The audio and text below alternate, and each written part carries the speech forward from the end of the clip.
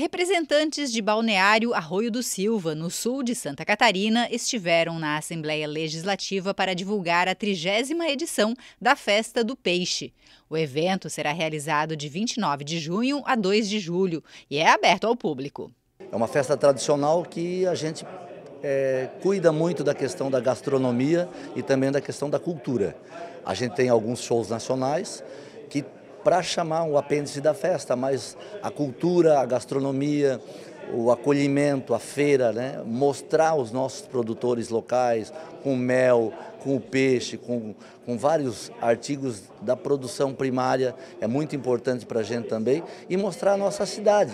Com 17 mil habitantes, Balneário Arroio do Silva tem o turismo como principal fonte de recursos. A expectativa é que milhares de pessoas participem do evento.